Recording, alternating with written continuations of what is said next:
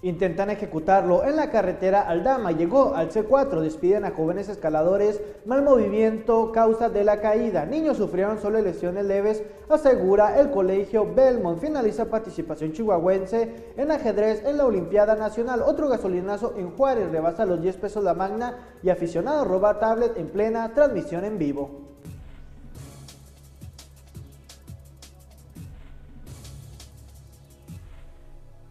¿Qué tal? Muy buen día, bienvenido a Tiempo Noticias, el noticiero más rápido en Internet que se transmite a través de los sitios de tiempo.com.mx y Puente Libre MX. Soy Pedro Fierro y nosotros nos vamos con información. Durante esta madrugada hubo un importante operativo en la carretera Aldama y es que un conductor sufrió una agresión a balazos, en donde por el huir de los agresores llegó hasta las inmediaciones del C4 en la carretera Aldama. Los acontecimientos ocurrieron sobre esta rúa en donde a de la persona afectada salió de aquella ciudad pero por la circular, dos camionetas lo siguieron e intentaron cerrarle el paso.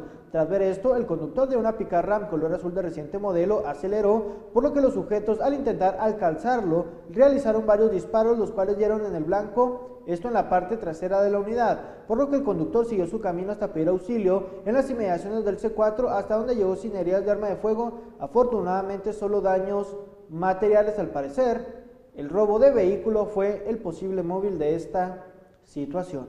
Y mientras tanto, el Servicio Meteorológico Nacional aumenta, alerta por las altas temperaturas y fuertes vientos. El Servicio Meteorológico Nacional alertó sobre un pronóstico de altas temperaturas y vientos de hasta 40 kilómetros por hora durante las próximas horas. Esto a consecuencia de diferentes depresiones y círculos de humedad que se avecinan por el Pacífico y por el Golfo. Para ello, incluso se puede pronosticar lluvia de hasta 25 milímetros, además de vientos con rachas de 40 kilómetros por hora.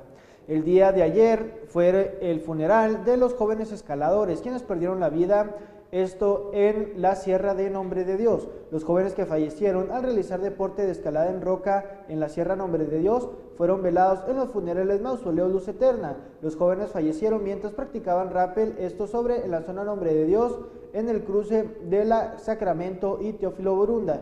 Durante la tarde de ayer se dio visto que las autoridades de dos jóvenes perdieron la vida mientras escalaban rocas en la Nombre de Dios sobre la avenida Sacramento a la altura de la Teófilo Borunda.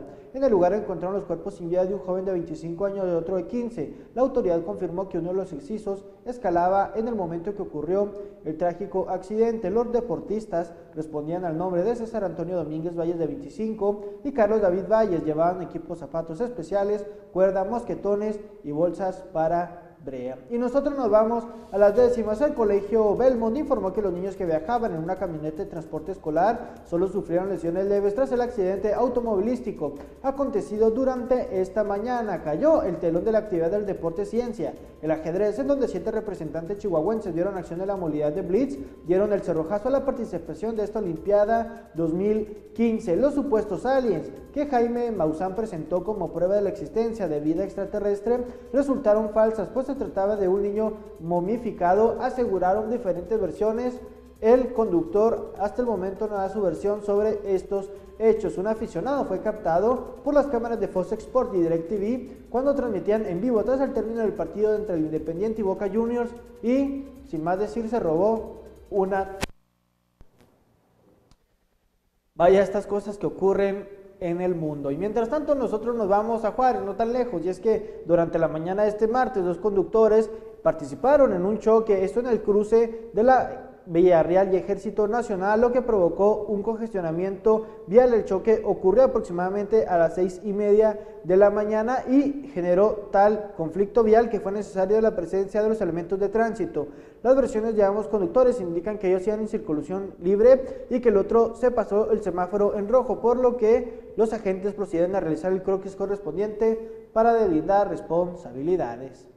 Y otro martes de gasolinazo, la Magna subió 42 centavos, lo que pone ya el precio de la gasolina con 10 pesos y 52 centavos, así lo informó Fernando Carvajal, representante de la Organización Nacional de Expendedores de Petróleo. La Magna se cotiza a 10 pesos con 14 centavos, mientras que la Premium se encuentra a 10 pesos con 52. Esta sería la cuarta semana en la que el precio de la gasolina aumenta, pero será la primera ocasión en el que aumenta de manera considerable, pues fíjese usted, casi 50 centavos.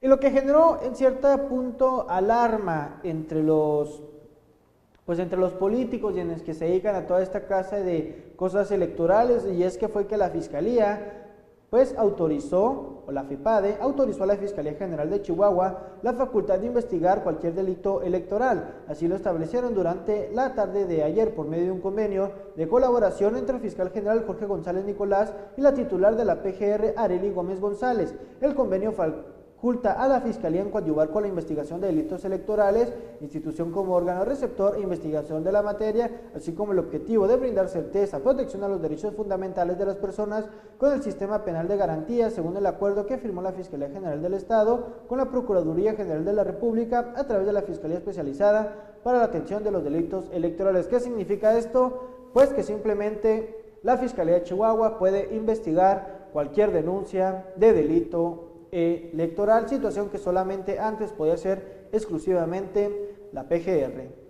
Y nosotros cerramos este espacio informativo y es que la NFL impuso un castigo a los Patriotas, así como a Tom Brady por los balones sin aire. Luego del escándalo que provocaron los ovoides sin tanto aire, la NFL realizó investigaciones e impuso un castigo a los Patriotas y a Tom Brady. Gracias a la investigación que realizaron, mostraron que el maristal de campo tenía más probabilidad que si supiera a que no sobre los balones que usaron en la final de la conferencia americana. El castigo fue una suspensión de cuatro partidos para Tom Brady y una multa de un millón de dólares para los Patriotas. La NFL hizo oficial el castigo este lunes, luego de la investigación privada que contrató la liga. El castigo de Brady es por violar las políticas de integridad del juego de la NFL y lo priva de cobrar su salario por el curso de la sanción. No se sabe si los Patriotas impugnarán esta sentencia.